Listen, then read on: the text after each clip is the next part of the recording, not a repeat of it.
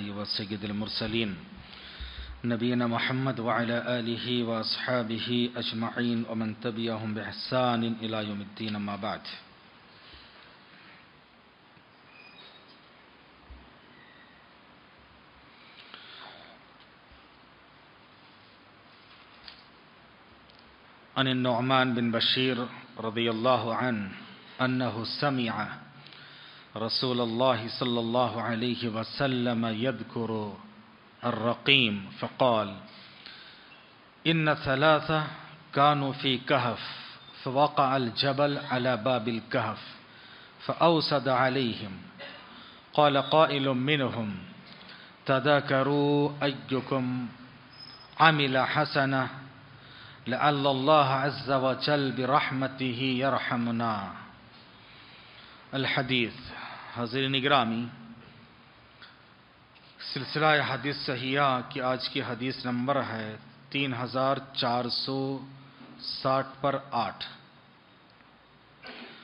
और ये इसके अलावा ये रिवायत सही बुखारी में भी मौजूद है बहुत मशहूर व मारूफ हदीस है आपने बारहा ये वाक़या सुना है। वो है कि बनी इसराइल के तीन आदमी का वाक़या कि बनी इसराइल में से तीन आदमी सफ़र में थे, तेज तुंद, आंधी और तूफ़ान शुरू हो गए।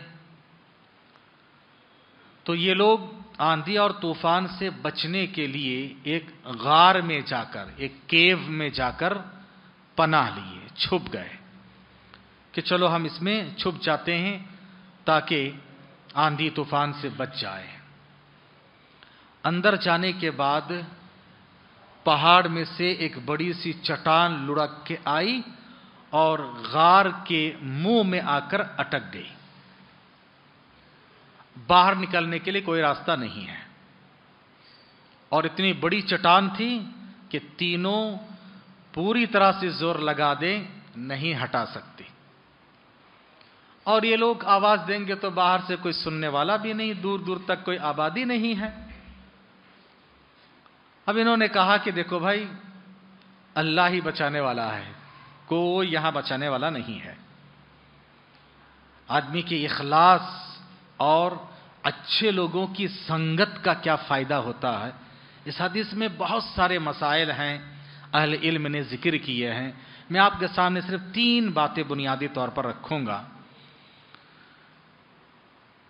तो उन तीनों ने कहा कि देखो भाई, हम कुछ नेकियों को याद करते हैं कि ज़िंदगी में हमने अल्लाह के खातिर बड़े इखलास के साथ कोई काम हमने किया है। उस काम को, उस नेकी को याद करके अल्लाह के सामने उसके हवाले से, उसके वसीले से मांगे। इससे अहल इल्म ने इस्तदलाल किया है कि इंसान अपने नेक आमाल के हवाले से, वसीले से अल्लाह के पास दुआ कर सकता है। लेकिन उसका तरीका ऐसा ना हो, जो नबी से हटके हो। कि आप घर में किसी को कुरान पढ़वाएँ और उसके बाद बख्शवाएँ, ये नहीं है। आप खुद नेकी करें इखलास के साथ। और नेकी करने के बाद फिर उसका हवाले से अल्लाह से मांगे, अल्लाह, मैंने ये काम किया, अगर अल्लाह तेरे लिए इखलास के साथ अगर मैंने किया, अल्लाह तो मुझे माफ़ कर तो मुझे परेशानी दूर कर, मुझे ये दे, वो दे, आप अल्लाह से इसे मांग सकते हो। अब तीनों ने याद करना शुरू किया कि भाई कौन सा बहुत बड़ी नेकी इखलास के साथ हमने की है, कौन सी नेकी। तो उनमें से एक ने याद करने के बाद कहा कि मेरे पास बहुत सारे मजदूर काम करते थे, बहुत सारे मजदूर काम करते थे। उनमें से एक मजदूर काम करते करते आधे में छोड़ के चला गया। लेकिन उसकी मजदूरी बनती है। पूरा महीना खत्म नहीं किया, लेकिन चंद दिन तो काम किया था। उसको मजबूरी थी, वो चला गया और अपनी मजदूरी नहीं लिया। देखो, इंसाफ देखो, मजदूर के ताल्लुक से। आज तो सिर्फ़ गरीब का ही पेट काटा जा रहा है। तो वो मजदूर चला गया, मैं उसकी मजदूरी को अलग से रखा और उसको बिज़नेस में लगाया। जो मुनाफा होता रहा, मैंने हिसाब रखा। एक जमाने के बाद वो वापस आया। एक जमाने के बाद आया। आकर पूछा कि मैं उस दिन जो मजदूरी किया था, वो मेरी मजदूरी दे दीजिए, प्लीज़। उसने कहा कि ये सारा माल है, ये लेके चले जाओ। उसने कहा कि मज़ाक क्यों कर रहे हो? गरीब आदमी हो, जो मेरा हक है, मेरी मजदूरी थोड़ी सी दे दो। ठीक है मैं मज़ाक नहीं कर रहा हूँ, ये आपका है। मैंने आपके उस मजदूरी को बिज़नेस में लगाया, इतना मुनाफा हुआ, ये सब तुम्हारा है। मैंने अल्लाह के लिए, अगर उसको ना देता, ना बोलता, उसको पता नहीं चलता था। लेकिन मैंने ये काम अल्लाह तुझे डर के, तेरे लिए इखलास के साथ किया। अगर उस दिन मैंने वो काम अल्लाह तेरे लिए किया है तो आज हमें नजात दे दे, इस चटान को हटा दे। दिल से जो बात निकलती है, असर रखती है। दिल से जो बात निकलती है, असर रखती है, पर नहीं ताकत परवाज मगर रखती है। हा?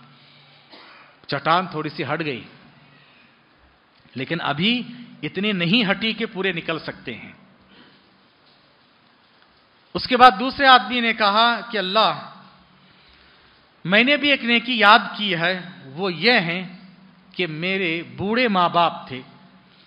और मैं बकरियाँ चराता था। बकरियाँ चराने के बाद शाम में वापस आके मेरा मामूल था। सबसे पहले दूध दोहने के बाद, दूध निथारने के बाद मेरे माँ बाप को पिलाता, फिर उसके बाद मैं बाल बच्चों को देता। एक दिन बहुत दूर चला गया। वापस होते होते ताखिर हो गई। मैं आया, लेट आया, दूध दोया, दोहने के बाद माँ बाप के पास लेके गया, सो गए थे। अब उनको जगाना मुनासिब नहीं समझा, क्यों तकलीफ़ होगी? उनके सराने पे मैं गिलास दूध का प्याला और गिलास लेके ठहरा रहा कि उठेंगे, मैं उनको पिलाऊँगा। जब तक वो नहीं जागे, मैं उनके सराने पर ठहरा रहा। वो जागे, जागने के बाद मैं उनको दूध पिलाया। अल्लाह, अगर मैंने ये काम तेरे खातिर तुझे खुश करने के लिए इखलास के साथ किया तो अल्लाह इस पत्थर को हटा दे। चटान थोड़ी सी हट गई। एक और बाकी है, लेकिन इतनी नहीं हटी कि पूरे निकल सकते हैं। अभी भी पूरी नहीं हटी है। अब यहाँ रुक जाए। अगर तीसरा आदमी नेक ना होता, बताओ क्या होते? बाकी ये दोनों नेक नजात पा जाए, पाते? हाँ घुन के साथ गेहूँ भी पीस जाते हैं। घुन के साथ गेहूँ भी पीस जाते हैं। अच्छे लोगों की संगत में रहने का फ़ायदा देखो। तीनों नेक थे, एक दूसरे की नेकियों से फ़ायदा हुआ। अगर एक भी बुरा होता, उसकी बुराई, उसकी बदकारी, उसके गुनाह की नहोसत, बाकी तीनों को, दोनों को भी ले डूबती। अहल इल्म ने इस्तदलाल किया इससे। देखो, हदीस तो पढ़ते हैं, लेकिन इस्तदलाल की वो सलाहियत और कैफियत के मसला जो निकाला जाता है कि देखो, नेक आदमी का ये फ़ायदा हुआ, तीसरा आदमी ने कहा कि अल्लाह, मैंने भी एक काम, बहुत बड़ा काम किया, जिगर गुर्दे का काम। कहा कि मेरी चचा की बेटी थी। मेरे पास बहुत चहीती थी, मैं उनसे प्यार करता था। और हमेशा मैं कोशिश करता था कि इसको किसी गलत काम में मुबतला करें, लेकिन वो पारसा नेक खातून थी। कभी नहीं राज़ी होती थी। एक बार मजबूर हो गई कहत साली हुई तकलीफ़ इतनी, फ़क्र फाका इतना आया, बड़ी मजबूर हो गई और मेरे पास वो मांगने के लिए आ गई कि फ़क्र फाका बहुत है, कुछ दे दो। मैंने उसकी मजबूरी का फ़ायदा उठाते हुए कहा कि तुम इस काम के लिए राज़ी हो जाओ, मैं तुम्हें पैसा दूँगा। बेचारी फ़क्र फाके के मारी क्या करती राज़ी हो गई, राज़ी हो गई। उसके बाद जब मैंने उसको बेलिबास किया तो उस वक्त वो कांपने लगी। काँप रही थी, थर्रा रही थी। अल्लाह का डर इतना ज़्यादा आ गया।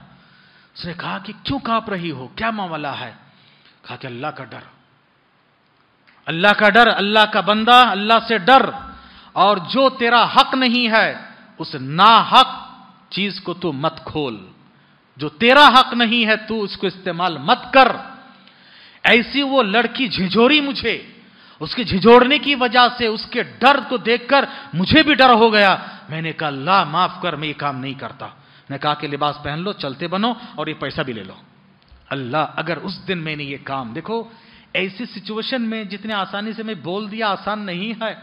हाँ कोई नौजवान लड़का हो, जवानी के में चूर हो और सामने उसके पास बेलिबास एक लड़की हो और वो भी मजबूर है, ज़िंदगी में कभी किसी की मजबूरी का फ़ायदा नहीं उठाना। हाँ? तो अल्लाह उस दिन वो जो डर मुझे दिखाई और उस डर से मैं जो डर गया, अल्लाह तुझे डर के अगर मैंने उस दिन काले काम करने से, मुँह काला करने से अगर मैं रुक गया, अल्लाह आज मुझे नजात दे दे, पत्थर हट गया और तीनों के तीनों नजात पाके बाहर आ गए। तो पहला मसला मैंने ये बताया कि नेक अमाल का वसीला जायज़ है। और नेक अमल कब है, इससे पहले कि हदीस में कल हमने मालूम कर लिए, जिसमें तीन शर्तें हो। ईमान व अकीदा सही हो, दूसरे इखलास लाहियत हो, तीसरी शर्त नबी के तरीके पर हो। ऐसे नेक अमाल का वसीला देकर अल्लाह से दुआ मांग सकते हो। और तीसरा हमने मालूम किया कि नेक लोगों की सोहबत में रहने का फ़ायदा। नेक लोगों की सोहबत में रहने का फ़ायदा क्या देखो? कितना बड़ा फ़ायदा इनको हुआ नेक लोगों की सोहबत में रहने के लिए। एक दूसरे को फ़ायदा हुआ। एक भी बुरा होता तो सारे के सारे डूब मरते। इसीलिए याद रखो, शेख सादी ने क्या बेहतरीन लिखा है कि देखो, नूह का बेटा, नूह सलाम, नबी, रसूल, दुनिया के पहले रसूल, का बेटा जाके बुरों के साथ बैठ गया, बर्बाद हो गया। बुरे लोगों की संगत इख्तियार किया, बर्बाद हो गया। असहाब कहफ का कुत्ता लेक लोगों के साथ गया तो उसका नाम कुरान में आ गया, उसका नाम रोशन हो गया। अल्लाह अकबर। नेक लोगों के साथ रहा करो। नेक लोगों की संगत आपको फ़ायदा पहुंचाती है। सोहबत सालेह तुरा साले कुनद। सोहबत तौलेह तुरा तौले कुनद। फारसी के शायरी कहता है, नेक लोगों की सोहबत तुम्हें नेक बनाएगी और बुरे लोगों की संगत और सोहबत तुम्हें बुरा बनाएगी। नेक लोगों की सोहबत इख्तियार करे, ये फ़ायदा।